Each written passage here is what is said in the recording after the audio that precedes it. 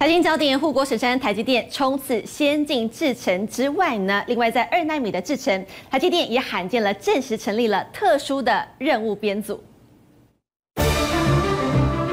iPhone 十五钛金属外壳游戏体验也大大升级，继苹果 A 十七晶片导入台积电三纳米制程外，高通下一代处理器和联发科天玑九三零零预计在十月发表，采用台积电 NCP 制程，明年将进一步导入 N 三一制程。但现在它的主要劲敌苹果，它的中央处理器也都是用所谓的三纳米，势必联发科跟高通他们所设计的方向也会以三纳米的方向进行。九月到十月份，高通跟联发科新的晶片绝对可以用上。台积电三纳米的产能，护国神山台积电冲刺先进制程，二纳米更有不能输的压力。证实组二纳米任务团队 One Team 罕见进行建厂以来人力和产能大调动，将调集中科十五 B 厂逾四百人及南科十五 A 厂的逾三百名人力，投入支持新竹宝山和高雄厂的二纳米计划，也是向外界宣告台积电要站稳晶片霸主的地位。这个组合不全然只是二纳米，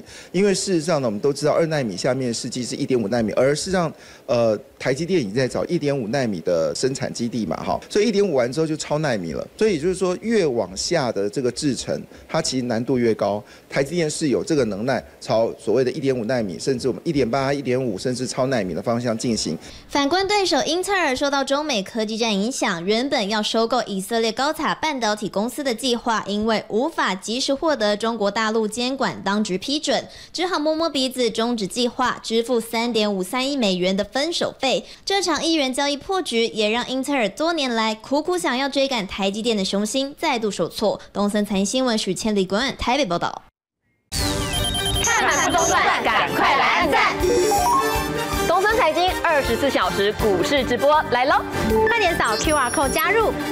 让我们来陪着你们看盘，最及时的盘中资讯，最权威的投资分析，满满一整天盘后交战，